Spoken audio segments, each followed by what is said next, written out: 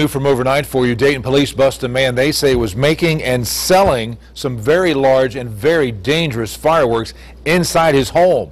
It all started with a neighbor's complaint about some explosions on Queens Avenue in Dayton between Hickorydale and DeWitt.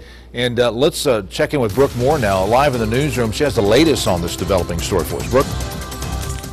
Well, Dan, in just a short while, the Dayton Bomb Squad will be destroying these materials in a field off of Gettysburg. We're told they may be waiting until daylight. Meanwhile, 23-year-old Aaron Griffin is being charged with unlicensed manufacturing of fireworks plus advertising and possession. And it all started with a bang a little before 11 last night. Police were called to Griffin's house in the 4900 block of Queens Avenue near Hickorydale after neighbors reported hearing fireworks that sounded more like bombs. When officers arrived, they quickly called the Dayton Bomb Squad out.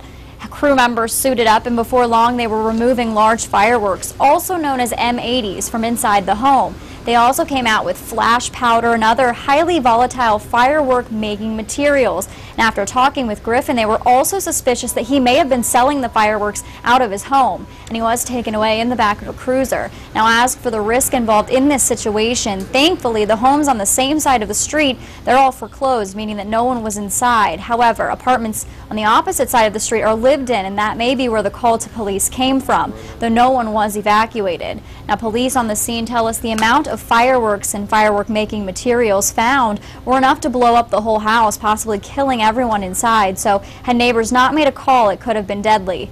Reporting live, I'm Brooke Moore, 2 News on your side.